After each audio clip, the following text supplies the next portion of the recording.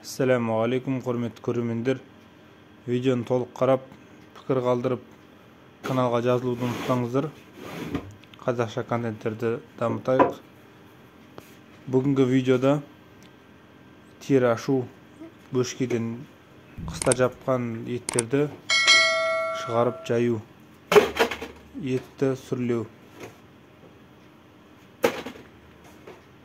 каналымнан декабрьдің кезіндегі соғымды сойып етін тұздап чесноктап осындай бөшкеге салып қойған болатынбыз соны енді шығарып көктемде ерігеннен кейін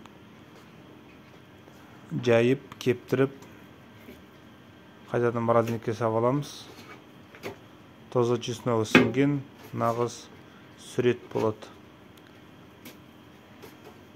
қандай еттер салу керек десеңіздер каналымнан алдыңғы видеоны қараңыздар.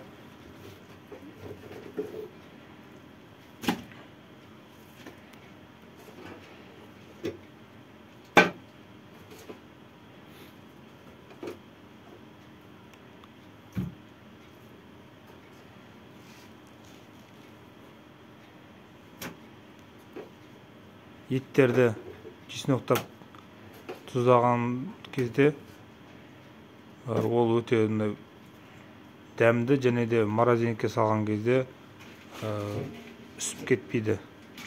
Өз дәмін сақтап қалады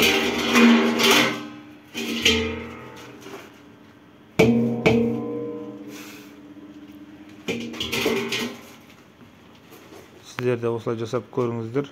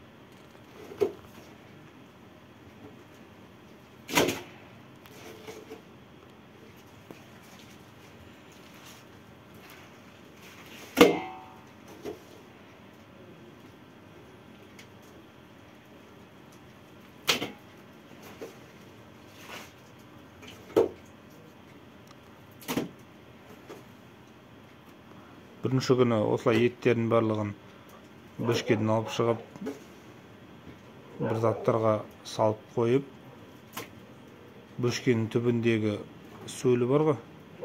Сол жерде чеснок тұзы сіңген сөл болады. Соны еттердің бетіне құйып тастау керек.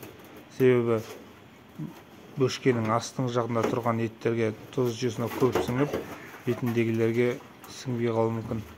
Сондықтан ыдысқа салған кезде бірінші бетіндегілер түседі ғой. Солардың үстіне астына сөлін құйып тастасаңыз бір күнде оларға да жақсы сіңіп қалады.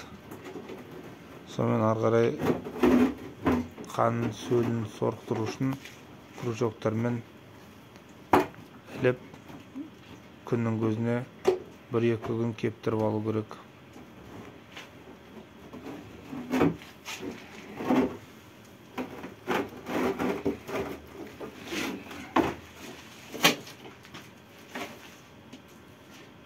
Онда жылқының жарты етінен сәл аз кетеді.